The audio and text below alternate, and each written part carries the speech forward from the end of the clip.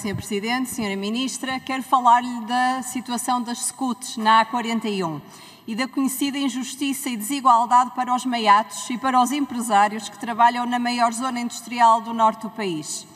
Sou do Conselho da Maia e sei bem do que falo, Sra. Ministra. Num percurso de cerca de 14 quilómetros, 10 quilómetros são portajados. Os meiatos têm que pagar para circular dentro do Conselho e não têm alternativas. Gostava que reparasse na seguinte situação muito concreta. O Porto, Matosinhos e a Maia, para fazer a recolha do lixo, dirigem-se todos os conselhos ao mesmo local, que é a Alipor 2. A Alipor 2 situa-se no Conselho da Maia. Porto e Matosinhos gastam zero euros ao ano para fazer este transporte. A Maia gasta 40 mil euros.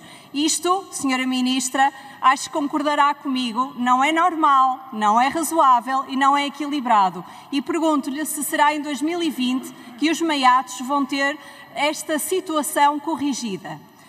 Por outro lado, e um outro assunto, reporta-se ao Conselho de Baião.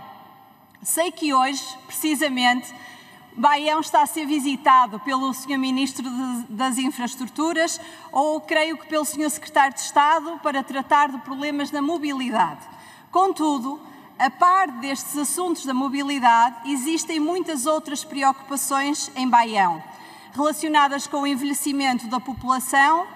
É urgente implementar programas de apoio ambulatório aos idosos é urgente fixar as empresas em Baião e combater a falta de mão de obra. É imperioso também encontrar mecanismos de celeridade para a concretização dos quadros comunitários, porque muitas vezes, quando os fundos chegam, já não há prazo para concretizar as obras. Pergunto-lhe o que pode esperar esta população também da Senhora Ministra. Muito obrigada. Obrigado.